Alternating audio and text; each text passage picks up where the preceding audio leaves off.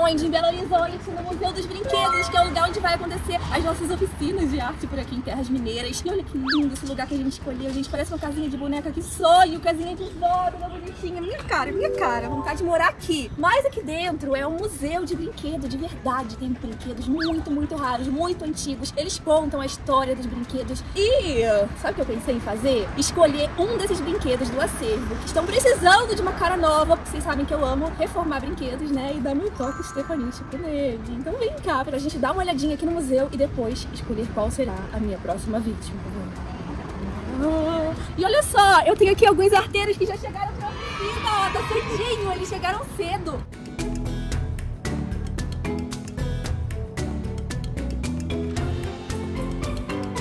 O museu hoje tá fechado pra nossa oficina, ele é todo nosso. Por isso que tá vazio sim, ó, vem cá. Aqui tem alguns jogos antigos, olha, esses, esses peões, né, essas coisinhas de rodar. Olha como era tudo muito, muito detalhado nos desenhos. Eu acho muito charmoso esse estilo de antigamente, né, mais artesanal. Tem uma boneca que parece ser muito antiga também. Olha que capricho essa roupa dela. O museu nasceu graças a dona Luísa Azevedo, porque em 1912 ela nasceu. Ela teve muitos e muitos netos e ela começou a juntar os brinquedos dos netos. Ela não doava, não jogava fora, ela guardava. Então, ela tinha um acervo enorme. Depois eles começaram a receber brinquedos também de doação. Mas olha que riqueza que tem aqui, ó. Joguinhos, bolinha de gude. Olha que bolinhas de gude diferentes essas.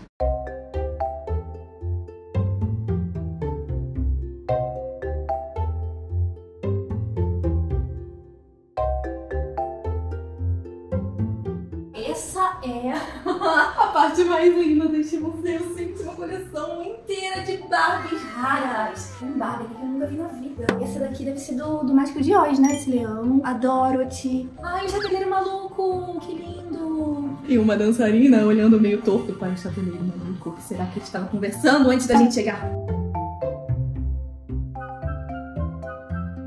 Que vestidos mais lindos! Olha essa aqui, essa de noiva, com o vestido todo bordado.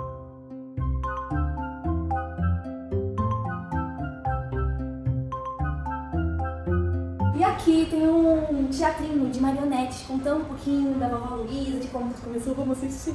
Um lugar cheio de vida, assim como todo museu. Só que o meu, quem contaria todas essas histórias seriam os brinquedos.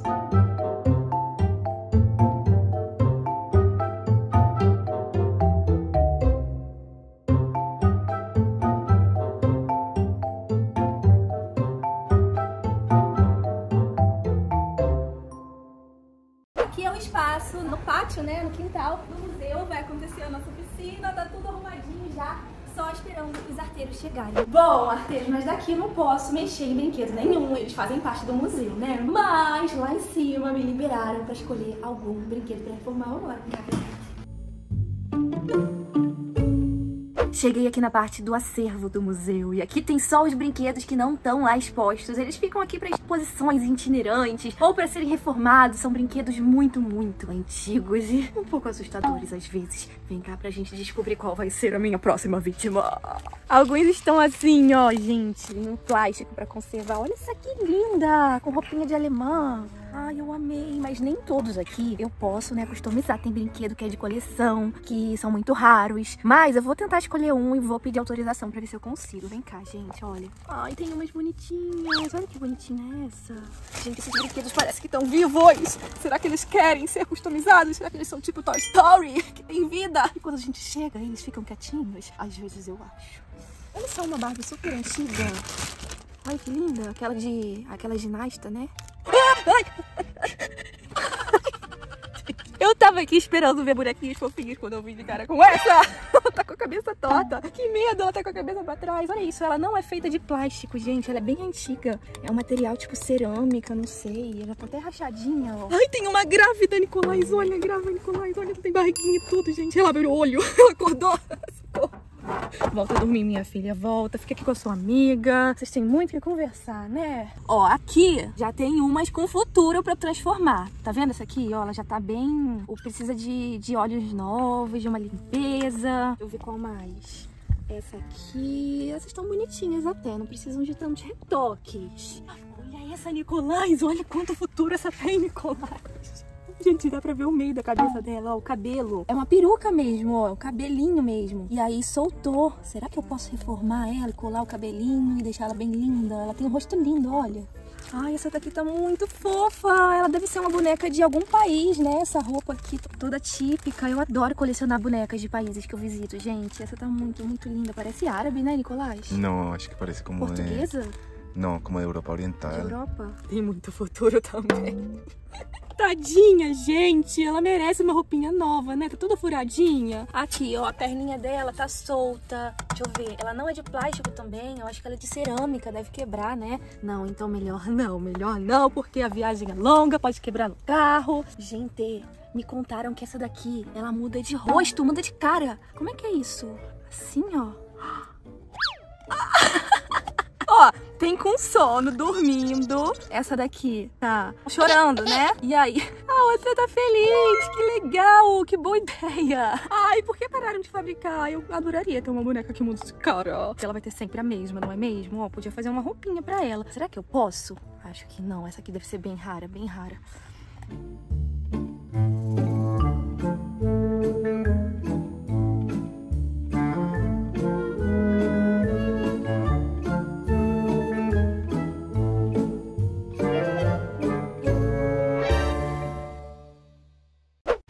De me dar uma notícia muito boa. O pessoal aqui do museu liberou de eu customizar a bonequinha que muda de cara. Só que assim, eles me deram uma regra. Eu não posso modificar ela, que ela é uma raridade. Eu não posso, assim, pintar o rostinho dela nem nada. Eu só posso criar uma roupinha pra ela. E depois eu vou devolver aqui pro museu e eles vão deixar aqui expostas. Vocês vão poder vir conhecer também, né? Então, vamos à obra. Cheguei com essa coisinha mais linda, mais cheia de graça aqui em casa. Mas, gente, antes de eu deixar ela estefanística, ela precisa de um banho, coitada. Olha isso, são anos e anos sem se lavar, né, bonequinha? Então, vamos começar limpando ela. E depois eu penso, eu penso em como que eu vou dar um jeitinho nela.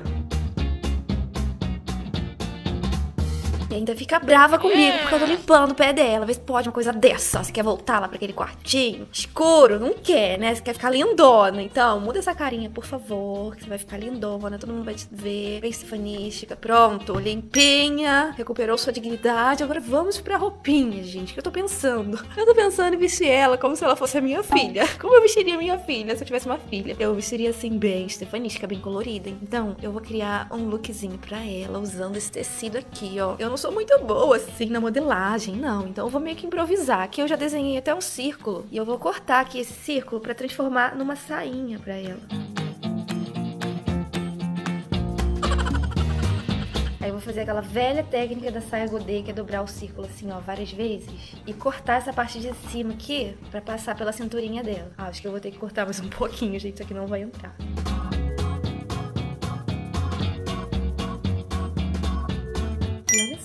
Temos uma sainha, ó. Agora aqui eu só preciso dar um acabamentinho, ó. Virar isso aqui pra dentro, fazer uma bainha, colocar um velcro aqui atrás pra fechar. Vamos para a blusinha, então. Eu não tenho a menor ideia de como faz a modelagem de uma blusinha. Então é basicamente cortar o tecido assim no formatinho de cruz, fazer um buraquinho aqui no meio, né? E depois costurar todas essas pontinhas pra virar uma camisa. Eu já tirei todas as medidas dela aqui do corpinho, do bracinho e fiz esse molde aqui com elas. Ó, tá vendo que legal? Eu espero que dê certo, né? Ó, na teoria está muito... Mas eu acho que vai dar sim, ó gente, eu vou dobrar, vou fazer um cortezinho e vai virar uma blusinha. Vou ter que fazer um corte aqui também atrás, né? Porque com esse cabeção, com três caras, né? Minha filha nada vai passar. Tem que ter uma aberturinha atrás pra dar uma ajudada. Então daqui eu já vou passar pro tecido e cortar.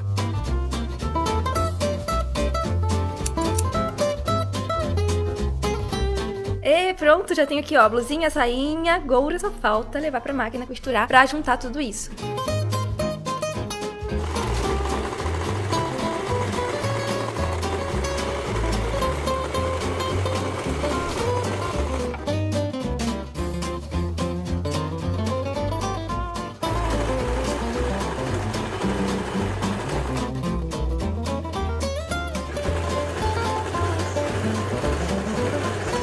Ai, que gracinha. Ficou bem rodadinha do jeito que eu quero. Só que a blusinha, gente, aconteceu um pequeno problema. Por quê? Porque seria um detalhe muito importante. Eu quero pintá-la de colorido, listradinha, igual uma das blusas que eu uso muito aqui no canal. Então, eu quero fazer ela parecida. Só que eu já costurei, vai ficar mais difícil de pintar, né? Então eu vou ter que fazer de novo.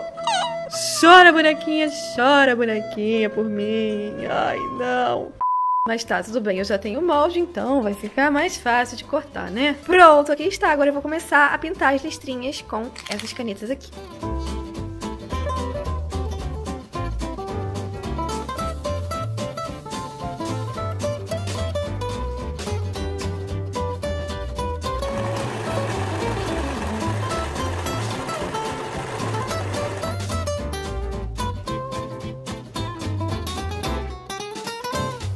Aparentemente deu certo. Agora vamos ver se entra, se fecha, se fica bonito. Tá um pouco apertadinho, mas vai entrar. Ai, que gracinha! Eu gostei! Ó, agora só preciso dar um acabamentinho aqui na manguinha, ó. Aqui atrás, eu vou ver como é que eu vou fechar. Bom, é uma roupinha que não vai sair. Então ela vai ficar aqui eternamente, até alguém cortar, né? Então eu vou colar ela aqui, ó, com cola de tecido pra ficar bem, bem justinha. Eu vou puxar pra ela ficar bem coladinha no corpo mesmo. Gente, eu tava esquecendo de uma coisa muito importante, muito mesmo. Que será? Que será? Será que Paulo Stefania não vive sem? Pompom, gente, pompom. Esse lookzinho não podia ficar sem pompom. Então, eu vou costurar ele aqui embaixo, ó, rapidinho. E vai dar um acabamento bem fofinho pra essa saia. Agora sim, ó, já temos o lookzinho, a blusinha, a saia. O que mais que falta, gente? O sapato, porque olha só, gente, que horror esse, boneco. Vamos dar uma escondida nele? Vamos, acho que vai ser melhor pra todo mundo, né, minha filha? Então... E eu vou fazer ter um modelo bem facinho de sapato. Vou contornar aqui o pezinho dessa Cinderela, nesse papelzinho aqui, ó. E vou cortar igualzinho duas partes nesse pedacinho de feltro. Cortei também essas tirinhas, ó. Olha que facinho que vai ser, arteiros. Ó, eu peguei uma tirinha de feltro, dei uma arredondadinha nela, assim. Aí eu vou começar a colar aqui, ó, ao redor da sola do sapatinho. Aí ela vai terminar aqui e vai ficar assim, tipo uma, uma botinha, uma sapatilhazinha.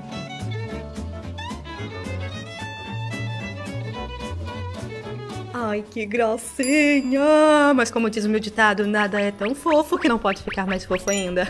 então, eu vou colocar aqui, ó, uns botõezinhos. Só pra dar um detalhezinho, pra combinar com a roupinha.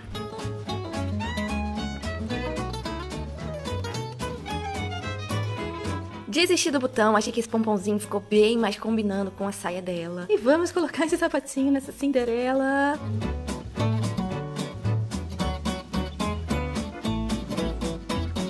Ai, eu estou apaixonada. Vai ser difícil mandar essa bonequinha de volta pro museu. Eu queria ela pra mim. Tá tão linda, tão estefanística. E que diferença, né, arteiros? Olha esse antes e depois.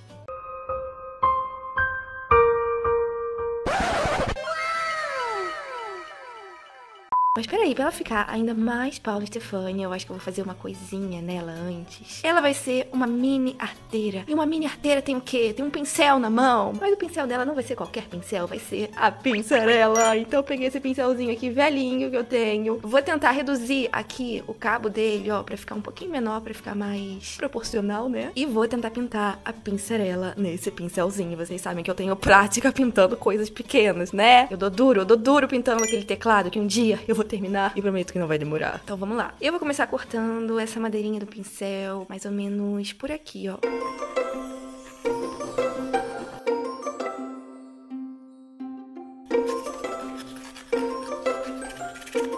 Dando uma lixadinha pra arredondar aqui a ponta. E olha que gracinha! Agora só falta ficar nas cores da pincerela, né? Então vou começar a pintar ele aqui todo de verde, ó.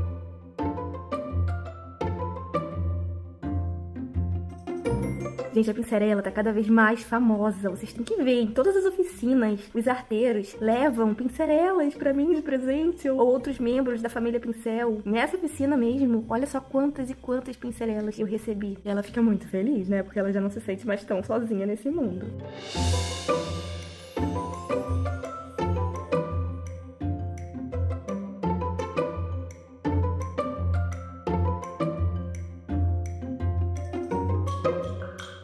gente, a pincerela vai ficar um pouquinho diferente, né, pessoal? Porque eu teria que fazer ela de biscuit, né? Pra ficar com aquelas bochechonas que ela tem. E todos os traços direitinho. Mas vamos fingir que é tipo uma irmã da pincerela, vai. e além do mais, eu tô usando as cores da roupinha dela pra combinar. Não tô usando todas as cores da pincerela. arteiros.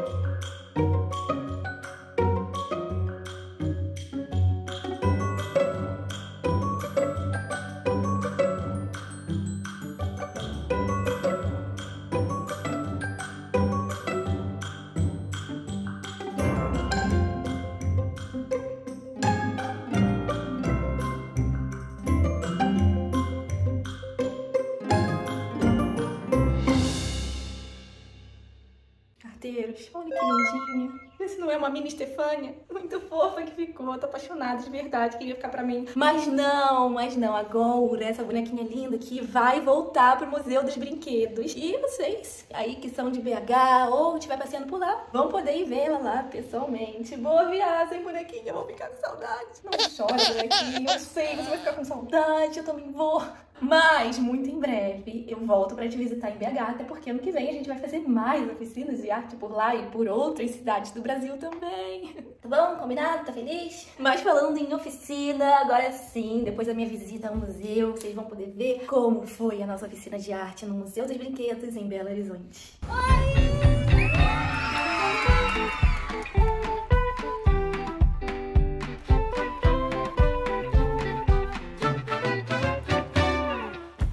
de arte funciona assim, arteiros. A gente faz vários temas de oficinas. A gente já fez de eco bags, de pinturas de boneco. E eu e Nicolás estamos sempre pensando em novos temas pra levar pra vocês. Mas antes de fazer arte, a gente primeiro cantou a nossa música nova juntos, a cor que você pinta. Eu fico tão feliz de ver todo mundo cantando juntinho comigo. Vocês estão muito lindos, sério. Vocês me fazem muito, muito, muito feliz.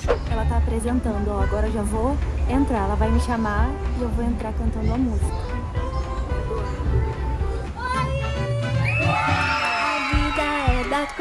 Você pinta.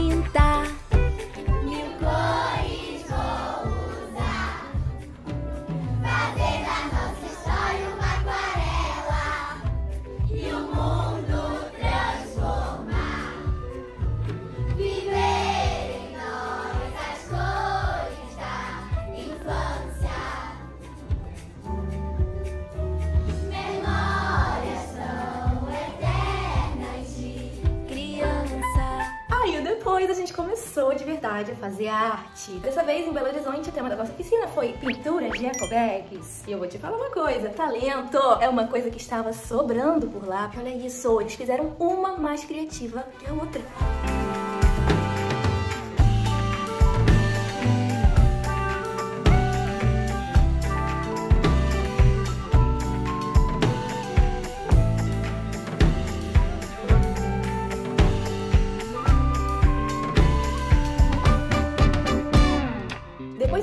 Papear, fofocar, foi o momento das nossas fotos. E eu recebi várias pincelas de presentes, algumas coisinhas gostosas também. Aí vai a xícara, o pão de queijo. Ai, tenho pão de queijo pra sempre agora! Muito obrigada! Olha tudo que eu amo de arte, de tinta, obrigada! Gente, a Pilar fez a pincevó! Olha a pincevó, ela tem cabelo branco e rugas e colarzinho de avó!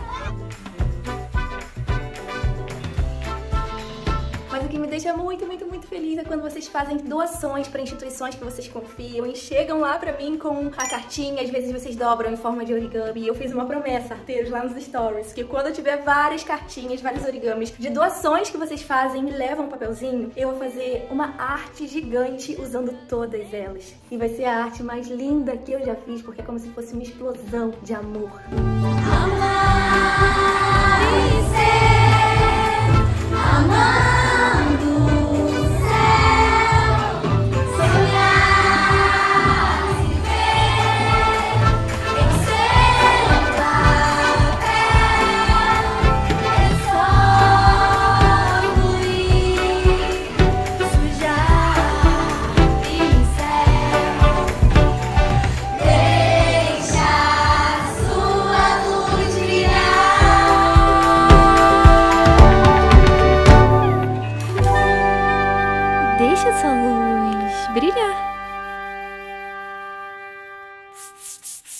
Além da equipe maravilhosa lá do museu, nossa equipe estava composta pelo meu pai e meus dois irmãos, Nicolás, que arrasaram. Gente, foi um sucesso. Eu quero muito saber para qual outro estado vocês querem que a gente leve a nossa oficina de arte. Já estamos começando a anotar as próximas para o ano que vem. Eu quero viajar esse Brasil afora, fazendo muita arte com vocês, dando muitos abraços quentinhos, encontrando com vocês, porque é muito legal, gente, eu poder olhar no olhinho de vocês, que eu tô acostumada a olhar pra câmera, né, pra lente. Eu não tenho nem ideia de quem tá do outro lado assistindo as oficinas são uma oportunidade de eu descobrir quem são vocês, de vocês colocando a criatividade de vocês em prática. Isso é muito, muito, muito enriquecedor pra mim. E quem sabe ano que vem eu estou na sua cidade. então é isso, arteiros. Um beijinhos pra vocês e até o próximo vídeo. Tchau!